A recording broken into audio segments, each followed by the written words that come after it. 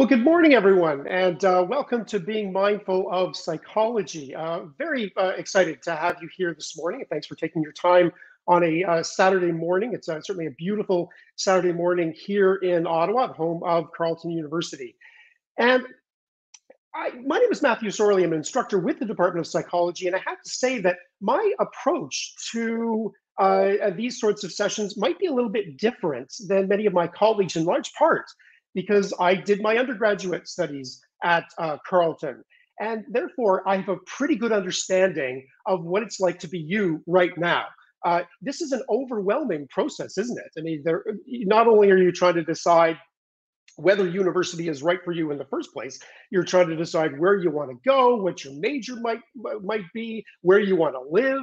There, there are so many different considerations. This is most definitely a period of transition. And so my role really here today is to take you on a tour of the psychology program and give you an opportunity to, to meet uh, some of the people who are uh, conducting research in the labs, give you an idea of what the science of psychology is all about. And uh, then at the end, we'll have uh, an opportunity for some questions. And uh, uh, if you do have questions at, towards the end of our session, then you can use the conversations tab and Q and A.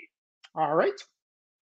All right, so let's get uh, let's get uh, started. Uh, I'm very excited to talk with you about psychology, and really, psychology is the study of what makes people tick, and that's something that I think most people are curious about. And psychology seems to to resonate with most people in one way or another. But uh, the study of what makes people tick doesn't sound very uh, very scientific. So the actual definition of psychology is that it's the scientific study of our thoughts feelings and behaviors. And I really like this uh, this uh, uh, comic.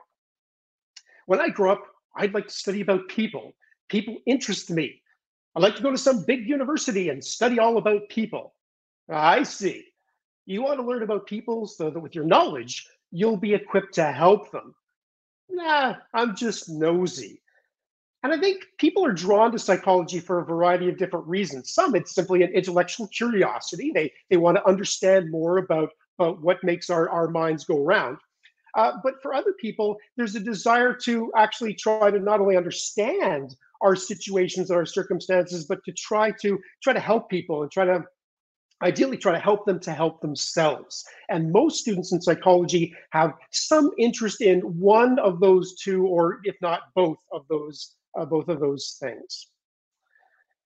So at Carleton, uh, so much of our, our uh, of the life of our departments occurs in research labs, and there are different areas of focus.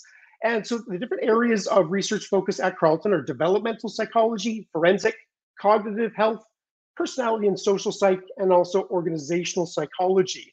So I'm going to take you on a tour of these different areas and uh, let you know who some of the, the professors are who are uh, conducting their research, but then also what are the key questions that are occupying their time? Because again, psychology is a science, and good science always starts with good questions. So let's jump in.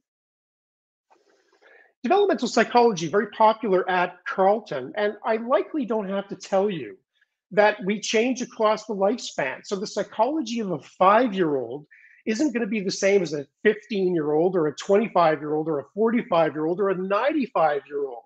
Simply, our relationships change, our bodies change, our, our cognitions, our thought processes change. And developmental psychologists are interested in these changes. One of our developmental psychologists, his name is Rob Copeland, and he's very interested in shyness and social anxiety in uh, children. And so, uh, one of his uh, recently published books is called Quiet at School An Educator's Guide to Shy Children. So, he's trying to, to help parents and educators to try to figure out okay, what can we do to help kids who are socially anxious ultimately realize their potential? Other developmental psychologists in our department are interested in the effects of extracurricular participation. So you're in school, uh, you join a sports team. Uh, what are some of the benefits of that psychologically, physically, emotionally, socially? How does that contribute to uh, positive youth uh, development? We also have developmental psychologists who are studying transitions. And Uh, anytime we're talking about a transition, we're talking about uh, an ending of a phase of life, but also a beginning. And so many of you are uh, right around the corner are going to be ending your career as a high school student and then moving on to whatever is next, whether it's university or college or the workforce or something completely different. Uh, that necessitates a, a transition.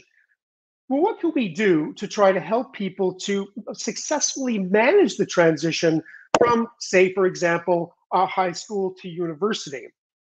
Ultimately, we want people to be functioning at their at their best, and developmental psychologists are interested in the nature of those transitions and what can we can we do to help.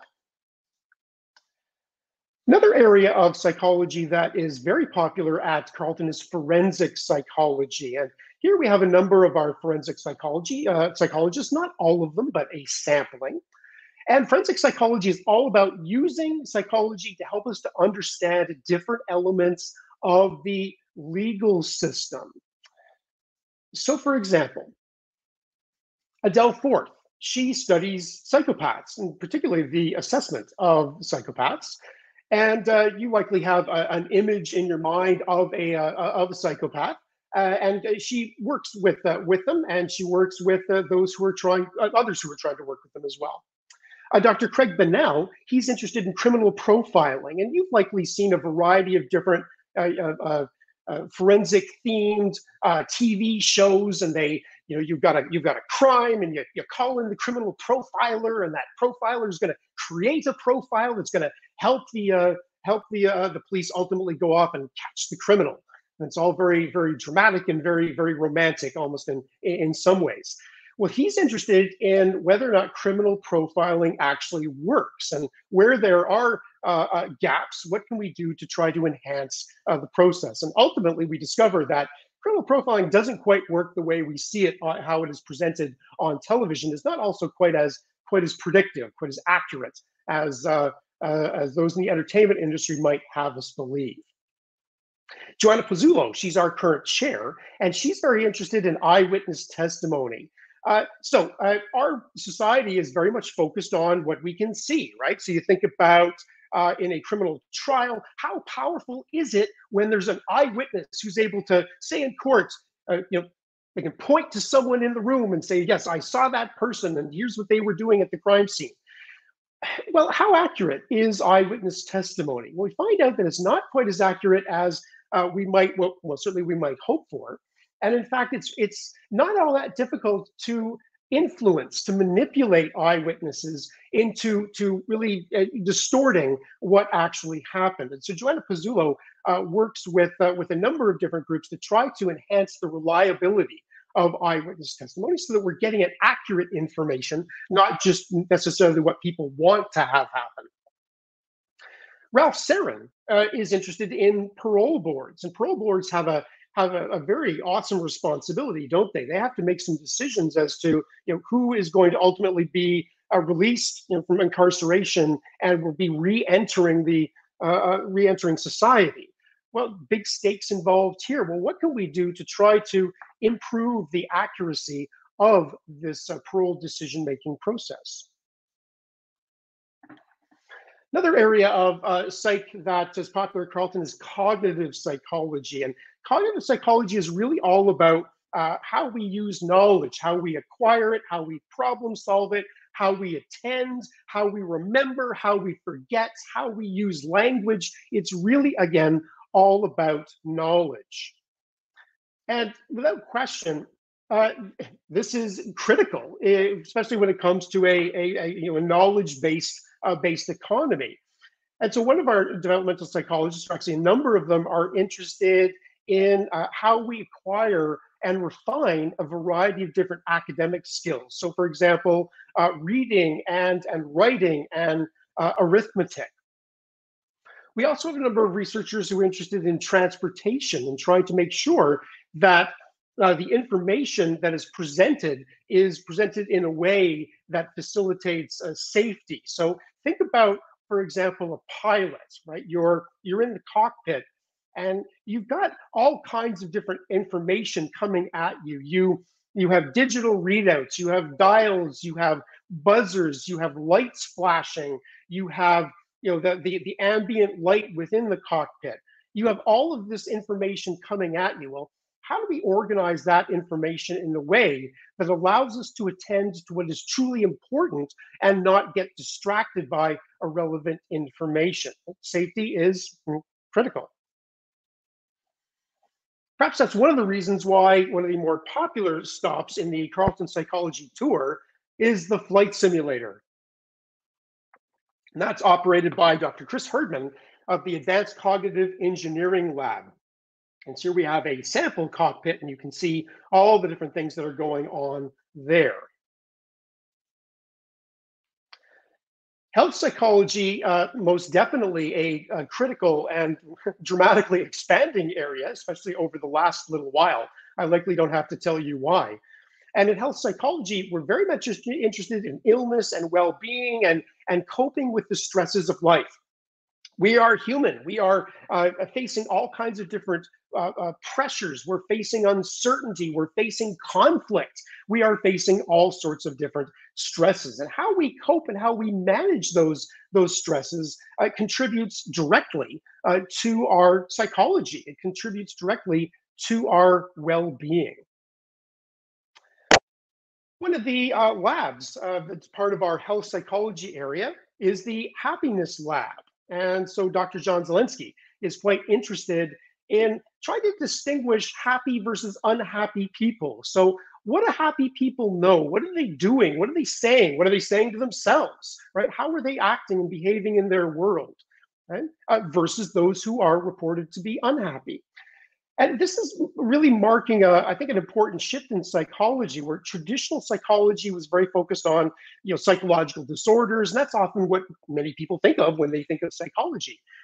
Um, but now we're seeing an, a, more of an emphasis on positive psychology and trying to understand people who are are happy and optimistic and creative and resilient, and what can we do to try to promote these things? Okay?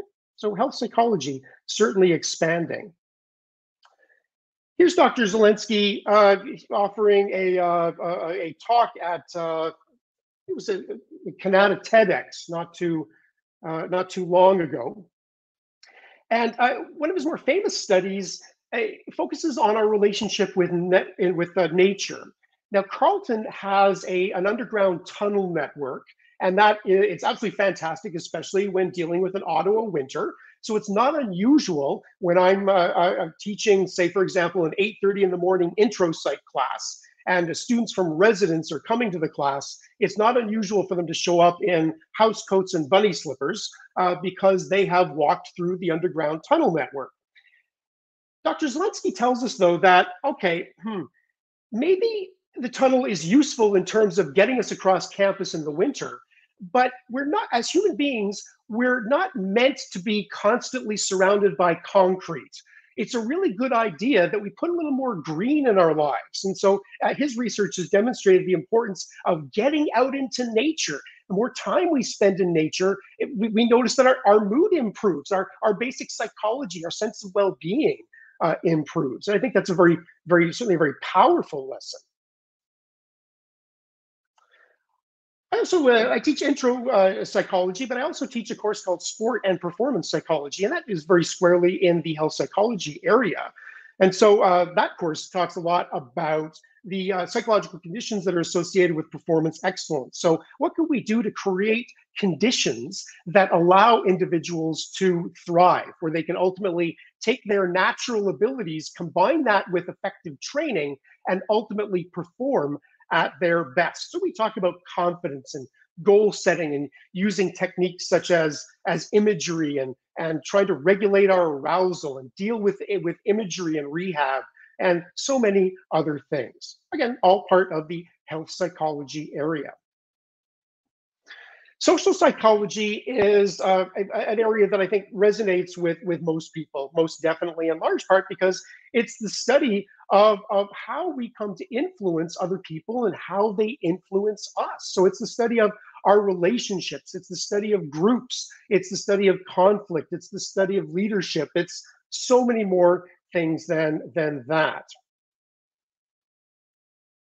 Cheryl Harasymchuk is one of our researchers, and she's interested in interpersonal relationships and especially introducing novelty and trying to avoid boredom. I mean, think about uh, relationships. Sometimes you can get into a bit of a rut, right? You're just kind of going through day to day and you're you know, wondering, where's the spark? What can we do to kind of get that spark back? Well, she's interested in boredom and trying to figure out, right, how do we get introduce a little bit of novelty, uh, doing some different things uh, to try to uh, to try to improve the quality of the relationships. And some of her research has been focused on on COVID, right? And think about how uh, the pandemic has influenced our relationships. Think about being in, uh, in you know physical distancing. Think about being isolated from friends and family members. Think about being uh, in a residence with a small number of people day after day, week after week, month after month. That has an effect on our relationships, right? Okay, so she's interested in that. Personality psychology also very focused on uh, our our uh, our personality. Uh, certainly focused on our traits and characteristics. So if I know a little bit about your personality, so for example, whether you're introverted or extroverted, you know, conscientious or not so conscientious, uh, open to all kinds of different experiences, or perhaps not so much. Well, personality psychologists are very interested in that and trying to determine uh, if I know a little bit about your personality, can that help me to determine whether or not you are, are going to be successful in that particular area? Okay, I see that a question has uh, come in, and I'll make sure as we get towards the end of the uh, of the presentation to go through some of the questions. I think you'll find that the talk will will address some of these, but I'll make sure that we've got some time at the end for uh, for a solid Q and A. Okay. Tim Pychyl, one of our personality psychologists, and he's interested in procrastination. I mean, I don't know about you, but I procrastinate.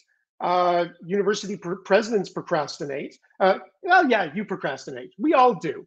We're really good at setting lots of different goals, but we have a habit of, of not really setting goals that provide a sense of direction and enhance our, our motivation. And so sometimes we can ultimately come to to procrastinate. We'll put things off. We'll say to ourselves, you know what? I'll do that when I when I'm in the mood, or we'll say to ourselves, you know what? I feel like uh, uh, I need the pressure of a last minute deadline. Uh, you probably said that one to yourself. Well, we do all kinds of different things that compromise our success and make our lives a little bit more difficult than they need to be.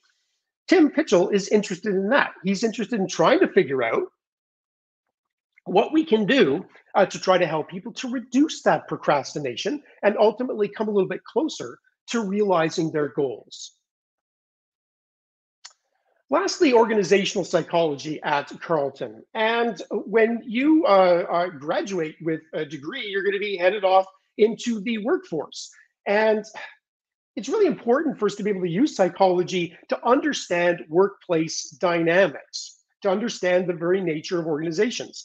Uh, Janet Mantler, who is our interim, interim associate dean, uh, she's very interested in working with organizations to, to try to promote health and well-being of employees. Think about it. If the well-being of employees is low, that has a direct cost for organizations because it's really expensive to try to recruit, to try to train, and, and, and ultimately select individuals, to try to, to retain them right? That is very, very time consuming, very expensive. So it's in an organization's best interest to promote well being. Well, how do you do that? Well, Janet Mantler is interested in using the research, using evidence based techniques to try to help organizations to assess the well being of employees, but ultimately try to identify strategies that enhance that well being. They're also interested in helping students to manage the transition from school to the workforce. So, one of the courses that Janet teaches is called Career Transitions, because there are some similarities between uh, uh, academics and the world of work, most definitely. And a lot of the skills that you're acquiring and refining at university can be applied in the workforce, definitely. But the situations are still rather different. And so, what what does this what does the psychological research say about those differences and how we can be successful once we ultimately join the workforce they're interested in a variety of other things, including work-life balance, right? Trying to trying to make sure that we're we're dedicating uh, enough of our psychological space and our time and our energy, not just for what we need to do at work, but for those important relationships, for for elements of our home life, so that we're ultimately more happy and successful as a whole person. All right. So that gives you an idea of the different questions and the different areas of research that are popular with uh, our department, popular with our researchers, popular with our, our students. But I thought it would be useful to take a look at some of the different program elements that uh, you might find useful. And so we'll start with BA and BA honors, right? And so uh, we've got uh, the BA program, which is a what's called a 15 credit program. It used to be known as a as a three-year program, and we have a BA honors, which is four, which is a, a 20 credit program, or what used to be known as a four-year uh, program. We also have a BSc or a Bachelor of Science uh, uh, honors program, and uh, one of the big questions that I'm asked is what's the difference between the BA honors and the BSc honors? you take exactly the same psychology courses. There's no difference whatsoever in terms of the psych. What's different are the non-psych courses, right? So your electives and, and, and actually a number of other required courses. In the BSc, more courses have to be taken in the physical sciences. And so you'll be taking more courses in math and, and stats and, and perhaps biology and chemistry and, and neuroscience and a variety of other areas as well. So same psych, but just different uh, non-psych uh, courses. We also offer combined honors. So say that you decide, you know what, I love psychology and I want to major in psychology, but I also love sociology just as much. I can't decide. Well, you don't have to. You can declare a, like a combined honors uh, major. So you have two majors. Now, these majors uh, in a combined program, you have fewer electives, so there are fewer uh, you know free courses for you to for you to uh, uh, to take um, and they're a bit more restrictive, but they work out for a great many people who really are have an equal level of interest in a couple of different areas. We also have uh, the ability to declare a minor. So you have a major, and so in psychology, roughly half of your courses in your program would be psychology courses. But with a minor, you're taking a, a, uh, a, a reduced number of courses in another area that you've identified as a secondary interest. So you might decide that, okay, I'm going to major in psychology and I'm going to declare a, minor in music, or I'm going to have a major a major in psychology and a minor in law. Okay, well you you can do that, and it's possible to declare a minor in most other disciplines within the Faculty of Arts and Social Sciences and the Faculty of Public Affairs. Where it gets a bit more challenging, you, you can't be a psych major and minor in engineering or journalism or something like that. Okay.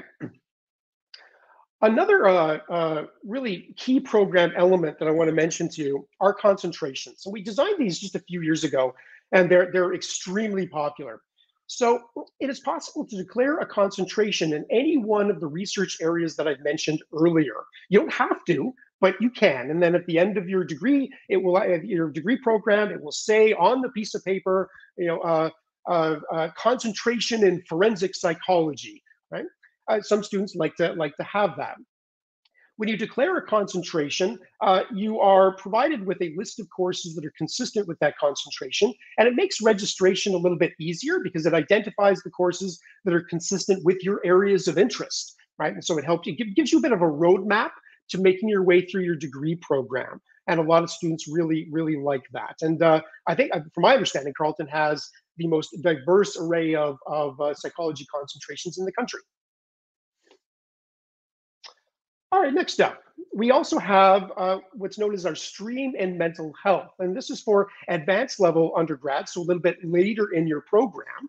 And uh, this program combines a number of different elements, but it's primarily geared towards those who are interested in a career in mental health services. And so there are some courses, so for example, on, on, on clinical interventions, uh, are exclusive to those who are part of this stream.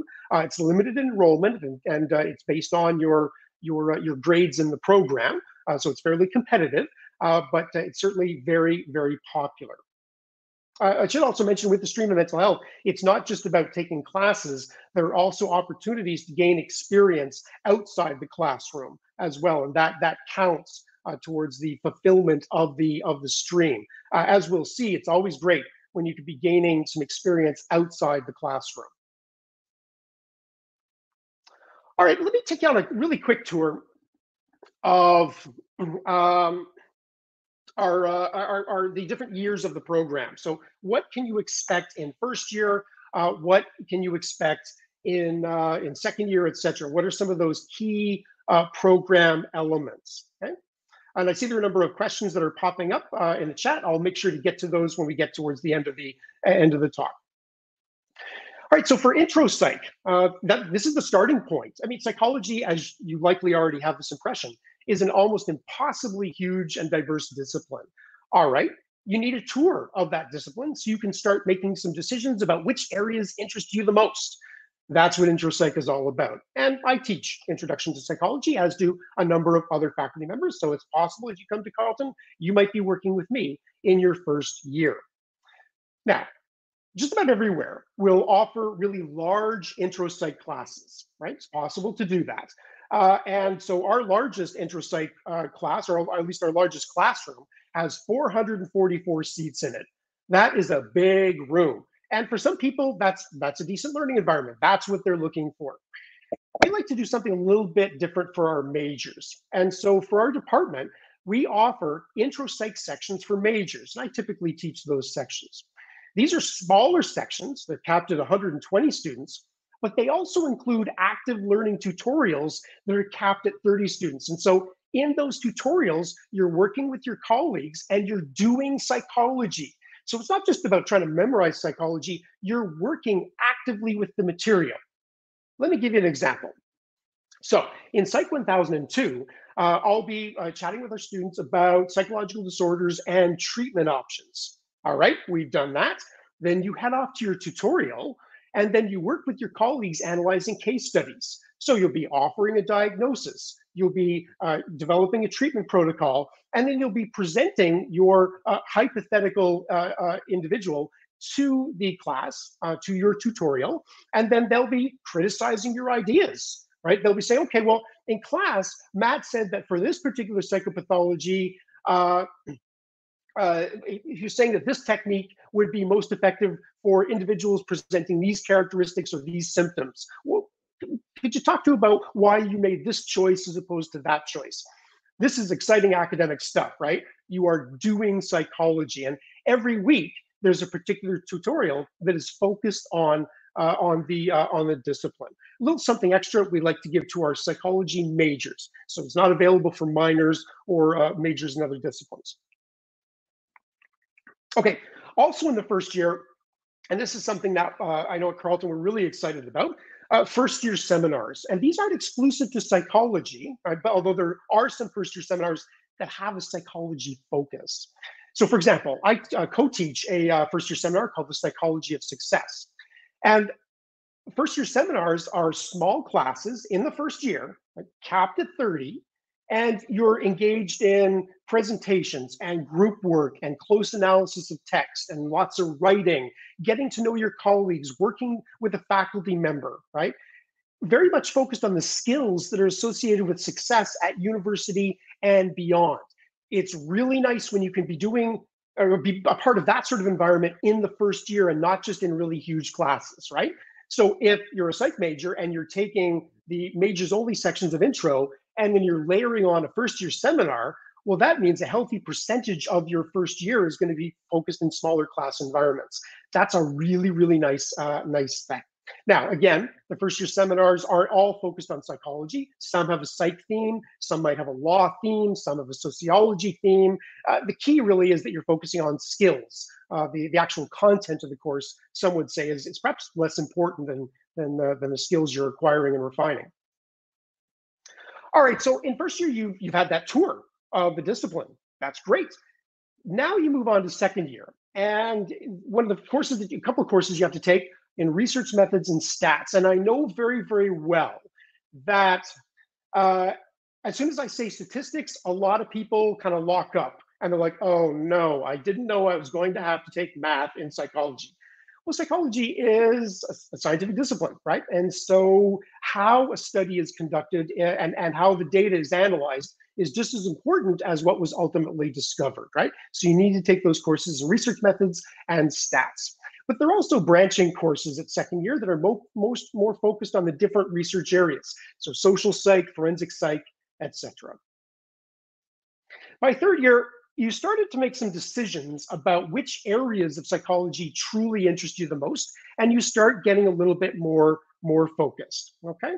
So uh, courses in clinical psychology, that's a, a really uh, a healthy enrollment uh, for that one. Uh, courses in positive psychology. We've got courses in relationships. My course in sport and performance psychology, for example. There's a course in sex offenders lots of different uh, diversity uh, in terms of these courses. And then there's also a full uh, year course called Design and Analysis, where you take the research methods and stats from second year and we up the ante a little bit. There's also a, uh, an honors seminar course, which is a small class capped at 20. And uh, there you are really thinking more deeply about, about how do you design your own research study and ultimately how do you gather data, uh, how do you analyze that data, how do you write up a study, right? You're not actually doing that in the honors seminar, but you're learning a little bit more about how that process operates. And that becomes really important as we head off to fourth year because you want to cap off your undergraduate career in style. And there are two ways that you can do that at Carleton. One way is via a thesis where you're a member of a research lab working with a faculty member and their honors students and their master's students and their PhD students and you're designing a study. You're actually you're developing an hypothesis. You're designing the study. You're gathering your data. You're analyzing it. You're writing it up. It's a very impressive uh, uh, document, and you are really bringing all the skills that you've learned across your program to bear on this particular key psychological question. Other students, though, will find that their career ambitions don't really require them to do a thesis or they're not interested in conducting their own study. Uh, so even more popular than the thesis is our project course. And so this is a course that is capped at a little over 30 students. And you, you uh, uh, uh determine an area of interest. So maybe it's psychopaths, right? Maybe it's positive youth development. Maybe, who knows what it happens to be, right? And your entire year is focused on researching that area but you'll be engaged in a variety of presentations. Uh, there'll be some group work. Uh, you'll be developing a poster for a, for a little conference that I'll be telling you about in a second.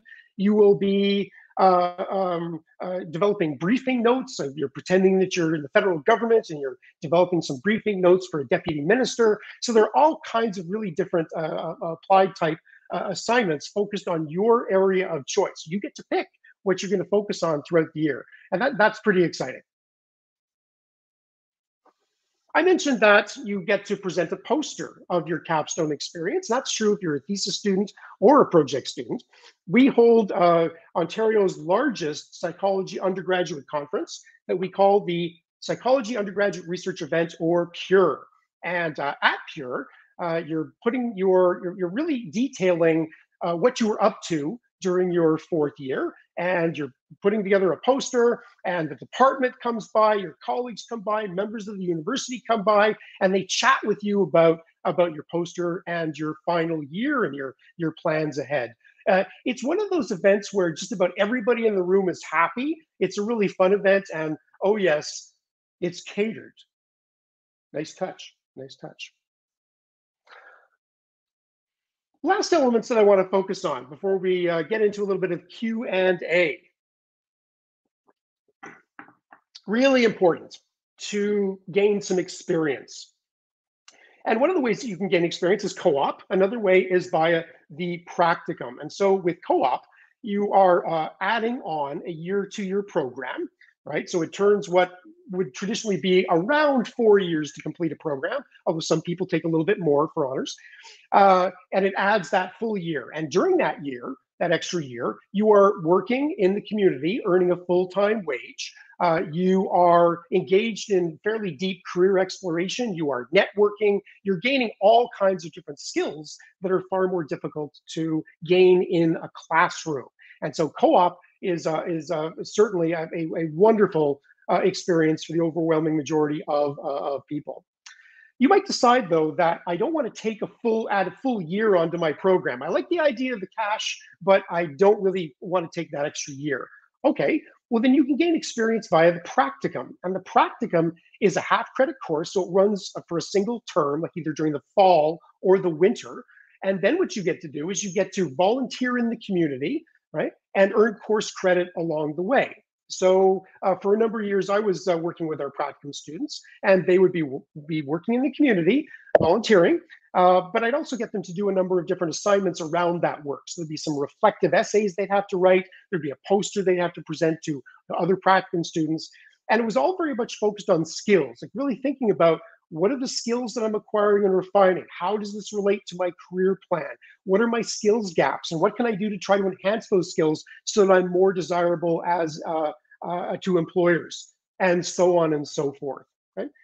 One of our practicum students a couple of years ago said this, and it's always kind of stuck with me. She said, the practicum provided some exposure into the mental health field and solidified that this is the right path for me.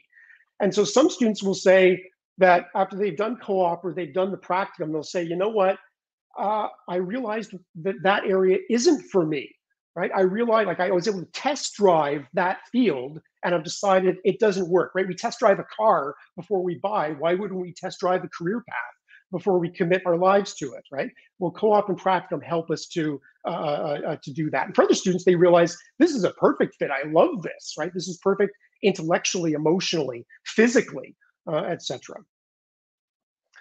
Wide range of co-op and practicum par uh, uh, partners that we have, everything from the, the school board, the Ottawa Hospital, we've got CHEO on there, the RCMP, uh, and more. All right, that's an awful lot of information, right? Now, you likely have some questions, and I'll get to some of those questions in just a sec. But uh, say after this session, you decide, you know what, I really want to learn more about what's possible. I want to learn more about the department. Uh, I, have a, I, have a, specific question uh, that wasn't dealt with today. Okay, great. Well, you can email psychology at carleton.ca. That's our undergrad office. You can visit our website, carleton.ca backslash psychology. And on that site, you'll see sample program layouts. You'll see links to the different researchers' web pages. You'll see faculty uh, videos are on there. Uh, lots of, of content that I, I recommend you take a look at just to see if, if, if the department feels like it's something that you want to be a part of. Uh, we also have our Twitter feed and Instagram, which is very much about keeping people updated about current events and what's going on in the department. So I'll just I'll leave this slide up just for a little bit, just while we take a look at some of the questions. Okay, so I'm just going to go back here. It looks like the questions around combined majors and minors uh, have been addressed. That's great. Uh, to, and also there's a question about uh, prereqs from high school. It looks like that has been addressed as well. Uh, so thank you, Carleton hosts, uh, for taking care of that. Uh, more questions about uh, co-op.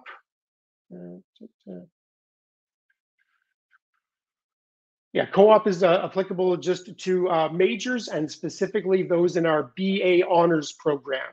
It's not available for those in our uh, BSc. Okay. Uh, when is co-op usually started? Uh, well, co-op work terms in psychology can start as early as the summer between third and fourth year, but the co-op program uh, actually has a number of uh, elements that you have to work with before that time. So there's a, a, a non-credit course called Co-op 1000, which gives you a chance to, to learn more about the job search and how to use the database of available jobs uh, so that you can find a co-op placement. Uh, there's all kinds of different work-related skills elements that you learn in Co-op 1000, but the first work term uh, uh for co-op uh, can either be the summer between third and fourth year or the fall of your of your fourth year. Okay.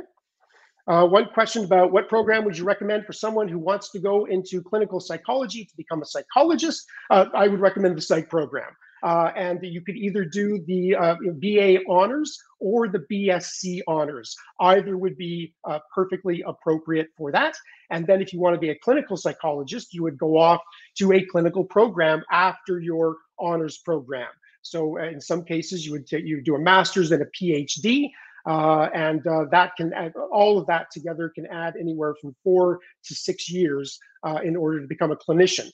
Now, sometimes when people say they want to become a clinical psychologist, what they really mean is they want to be a counselor, right? They want to work directly with people in some sort of a therapeutic session, uh, uh, situation, and that is possible. You don't need a PhD to do that. Uh, you could go off to a master's in counseling program, or a, like an MA in counseling, or an MEd in counseling. Uh, there are also a variety of other programs that uh, provide you with a wide range of skills to, to help you to become effective as a counselor and not necessarily going through uh, all the way for a PhD and uh, clinical psychology. Okay. So possible career uh, ways for a psychology graduate. Uh, certainly a wide range of different career paths because psychology is the study of people and not surprisingly, people seem to come up, especially in a knowledge-based economy. Uh, with any degree program, it doesn't matter it's psychology, it's sociology, it's law, it's environmental studies, it doesn't matter. It's all about the skills that you're acquiring and refining along the way. So, for example, a study not too long ago looked at uh, the CEOs of um, S&P 500, or maybe it was Fortune 500 uh, companies, and they noted that the top uh, uh degree stream was a BA. Uh, so, which is not necessarily what one what one would think, right? Well, uh, it's really all about those skills. And so think about the courses that I was mentioning that are part of our program. So if you're a psych graduate, you have some understanding of research design and stats analysis. That comes up in a variety of different uh, occupations.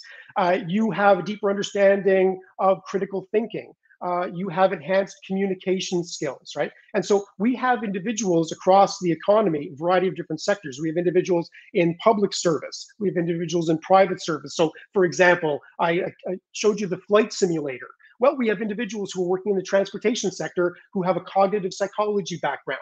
We have people with a forensic background working at the RCMP. Uh, we have individuals with health. You get the idea, right? And so, so many different uh, possible career paths. Keep in mind, though, that for most disciplines, it's not really linear. So, you know, I'm going to major in psych to be a psychologist. Not a lot of people do that, actually. People end up in a wide range of different occupational uh, uh areas, but it's the same in sociology. It's the same, like you name it. Most disciplines are, aren't really linear. You're, you're really uh, um, uh, uh putting a lot of pressure on yourself uh, if uh, if you're you're looking at it in a linear way. Yeah, yeah. I should mention that I changed my major uh, four times and uh, and ultimately uh, ended up having, settling on a couple of a couple of different degrees. So it's also possible to change your mind. So don't put all the pressure on yourself today to figure out what your major is going to be and what your career path is going to be forever. Great to reflect on that now, but you're not committed to it. And in fact, a very healthy percentage of students will change their major after first year. And I think I, I really like mentioning that because uh, it again takes off uh, some of the some of the pressure. Okay, so some questions coming in about minors in business. It looks like those are are being uh, being addressed uh, as well. Okay, now one thing that I just wanted to to mention is uh, also um, it's great that you're here. It's great that you're a part of this event today because you're gathering really important information. And so what I really hope is that you're you're getting your questions answered, but you're also getting a feel for the place. Uh, so much of, of what today is about is, at least from my perspective and what I'm up to, it's not so much to try to sell you on Carleton. It's really more about trying to help you to find a spot that's right for you, right? Nobody wins if uh, Carleton does a great sell job here for you and you go to Carleton and it's not a fit, right? It has to be a fit right? And so whether it's university, whether it's college, whether it's the workforce, whether it's something else, whether it's Carleton, whether it's wherever else, right? You're going to get a feel for a place, and uh, and I hope that you're getting a feel for Carleton. I also hope that if you haven't already, you get an opportunity to walk on campus. And Carleton does have an absolutely beautiful campus, especially at this time of year. And I hope that your circumstances permit uh, at least uh, uh, uh walking around that, that campus. I was on campus uh, last week walking around, and it's, it's hard not to feel even a little bit romantic as you're walking between the buildings the leaves are falling, and you've got the Rideau River right there and the canal on the other side. It's uh, it's um, you really you, you really are soaking up that, that university feel. Okay. All right. Well, our host uh, suggested that we be done by uh, 9:45, so we're right on the on the button. Uh, I'm going to be heading over to the psychology booth at uh, 10 o'clock, and I'll be there from 10 uh, to 11. So if there are any other questions, if you want to have a bit more of a smaller group type conversation, don't hesitate to head over to the psychology booth, and I'd be happy to chat in more detail with you there. Okay, now I'm just going to check to see if our host, uh, ah, yes, our host is recommending that I mention the booth. All right, we checked that box. All right. Well, thank you very much for being a part of the session, and uh, I wish you all the best with the rest of your day and with your important decision-making process. Thank you very much.